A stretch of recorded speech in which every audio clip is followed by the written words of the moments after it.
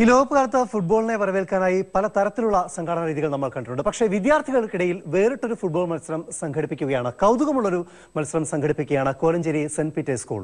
ലോകകപ്പിന്റെ ക്വാർട്ടറിലെത്തിയ എട്ട് രാജ്യങ്ങളുടെ പേരിൽ വിദ്യാർത്ഥികളെ വ്യത്യസ്ത ടീമുകളായി തിരിച്ചാണ് ഈ ടൂർണമെന്റ്.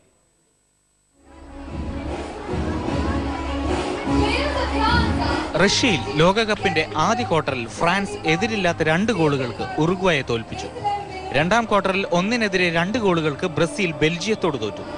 മൈലുകൾക്കിപ്പുറം കോലഞ്ചേരിയിൽ നടത്തിയ കുട്ടികളുടെ ലോകകപ്പിലും മത്സരബലത്തിൽ മാറ്റമില്ല ഫ്രാൻസിനും ബെൽജിയത്തിനും ജയം.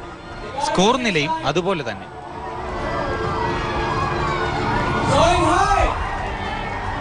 ലോകകപ്പ് ക്വാർട്ടറിലെത്തിയ എട്ട് ടീമുകളുടെ പേരിലാണ് ഇവിടെ കുട്ടികളുടെ ടീമുകൾ മത്സരിക്കുന്നത്.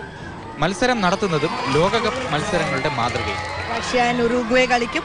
അത് കഴിഞ്ഞ് ബെൽജിയം എല്ലാം ആ സെയിം ഓർഡറിൽ തന്നെ. And every little detail has been taken care of കുട്ടികളും ഏറെ ആവേശത്തോടെയാണ് കോലഞ്ചേരിയിലെ ഈ ലോകകപ്പിനെ വരവേൽക്കുന്നത്. വളരെ ആവേശകരമായിട്ട് നമ്മുടെ സെന്റ് പീറ്റേഴ്സ് ഇളകി മറിഞ്ഞിരിക്കുകയാണ്. റഷ്യയിലെ ഒരു ഫിഫ വേൾഡ് കപ്പിന് അനുസ്മരിപ്പിക്കുന്നതാണ് ലോകകപ്പിൽ മത്സരങ്ങൾ നടക്കുന്ന അതേ ദിവസങ്ങളിൽ തന്നെയാണ് കോലഞ്ചേരി കപ്പിലും ടീമുകൾ മാറ്റുരയ്ക്കുന്നത്.